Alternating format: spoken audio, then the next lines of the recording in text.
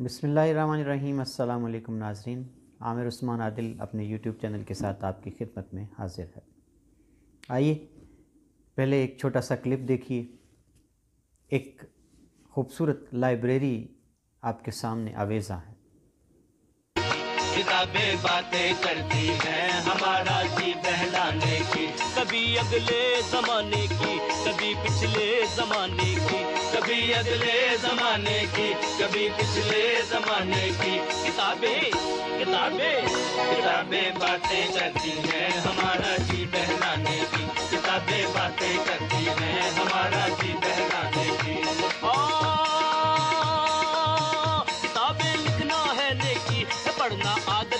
अच्छी है पढ़ना आदत भी अच्छी। किताबें राज बतलाए नए अंदाज सिखलाए। नए अंदाज सिखलाए। किताबें लिखना है नेकी।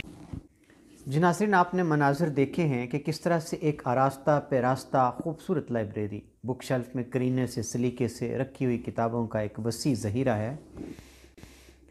इस लाइब्रेरी का कल ही अफ्ताह हुआ है और ये लाइब्रेरी किसी हुकूमती इदारे की नहीं है। और किसी एनजीओ, किसी वेलफेयर सोसाइटी या किसी और निजी शोबे के इदारे ने भी इस लाइब्रेरी की बुनियाद नहीं रखी। जी हाँ हम आपको बताते हैं इस लाइब्रेरी की कहानी। ये लाइब्रेरी एक फ़र्द वाहिद की सोच का महवर है। ये एक शख्स का अपनी मिट्टी से मोहब्बत का खूबसूरत इजहार है।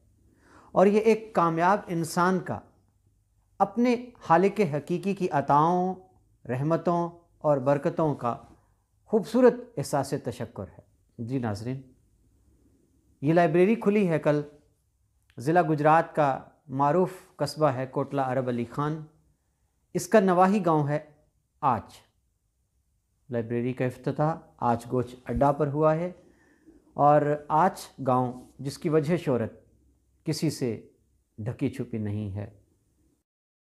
जी हाँ मेरी मुराद, आलम लोहार, लोक गुलूकारी के बेताज बादशाह। उन्होंने इसी गाँव आज में जन्म लिया, अपना बचपन इसी गाँव में गुजारा और यहीं से वो शहरत दवाम के सफ़र पर रवाना हुए थे। जी नाजिन बहुत कम लोगों को पता है कि इसी आज गाँव में इल्म अदब की एक नाबगा रोज़गार शख्सियत, बहुत सी किताबों के मुसनफ़ अपने ज़माने में सेनेटर कौमी असम्बली के मेंबर रहे।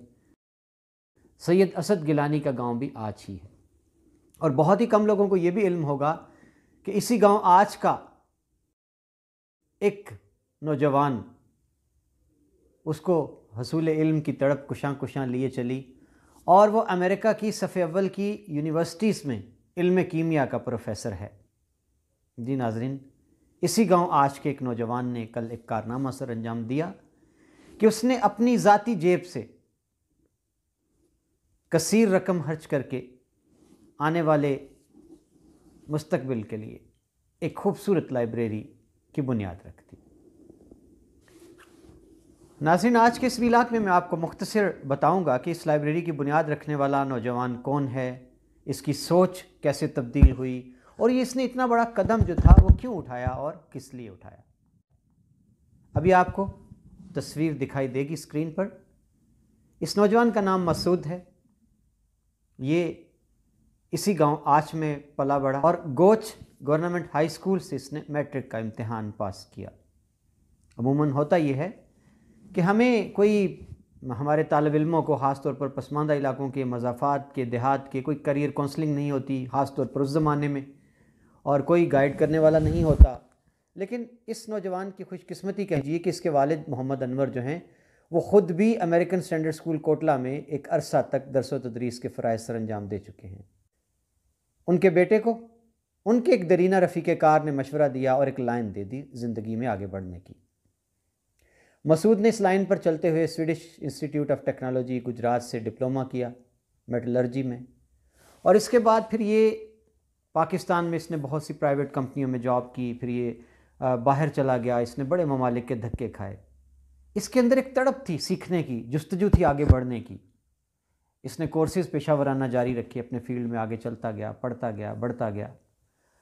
और नाजिन आज इसकी जो मेहनत शाखा है, इसकी जो जहद मुसलसल है, इसका जो अखलास है अपने प्रोफेशन के साथ, वो यूँ रंग लाया कि ये इस वक्त अबू धाबी की स्टेट ऑयल कंपनी है एडनॉक उसमें ये एक बड़े इंजीनियर के अहदे पर फायज। है जी तो मैं अपने नाजीन को बताता चलूँ कि वो लम्हा इसकी ज़िंदगी का टर्निंग पॉइंट था, कबूलियत का लम्हा था। जब इसने ये सोचा कि मैं तो अल्लाह का मेरे पर करम है, मेरे घर में हुन बरसता है, खुशहाली का राज है, लेकिन मैं क्यों ना अपने इलाके के लिए, अपने इलाके के नौजवानों के लिए वो करूँ कि जो मुश्किल मुझे देखना पड़ी, जो कुछ मैंने सहा कामयाबी के रस्ते में, इन नौजवानों को तमाम मुश्किल से निजात दिला सकूँ।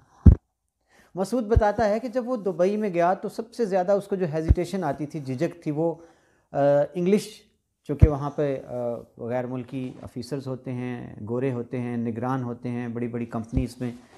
तो बड़ी मुश्किल पेश आती थी क्योंकि अंग्रेज़ी ही इंटरनेशनल रबते की ज़बान है। तो मसूद ने इसी मुश्किल के पेश नज़र ये फ़ैसला किया कि उसे अपने इलाके के नौजवानों को एक राह अमल देनी है निशान मंजिल बताना है।